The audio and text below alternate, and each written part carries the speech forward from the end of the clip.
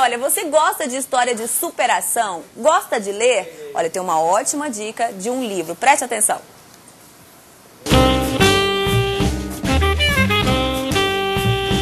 Olá, gente. Eu estou aqui ao lado do Júlio de Paula. Você que é graduado em Direito, pós-graduado em Direito, não é isso? Já escreveu vários livros também nessa área acadêmica e tudo mais. E agora está trazendo esse já que é o terceiro livro. Prospera é o terceiro livro que você traz de autoajuda. Né? Assim, qual é a inspiração, Júlio, para escrever esse tipo de livro?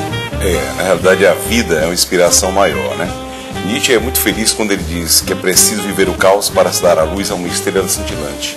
Então, quando nós vivenciamos determinados caos, determinados é, problemas nas nossas vidas, isso nos leva muitas vezes a uma inspiração. E essa inspiração me levou a escrever esses livros. O primeiro livro, Impossível para o Homem, Impossível para Deus, Superando Crise, e esse é o terceiro nessa linha Prospere.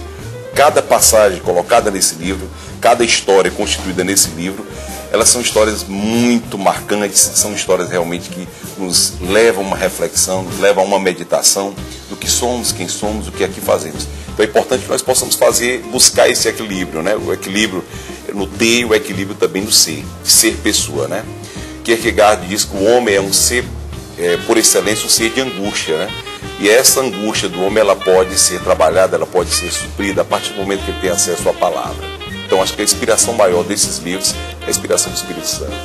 Agora fica só o convite para o pessoal que está em casa ler, conhecer um Maravilha. pouquinho, aprofundar também esse conhecimento e sentir um pouquinho de tudo que você é quis trazer, né?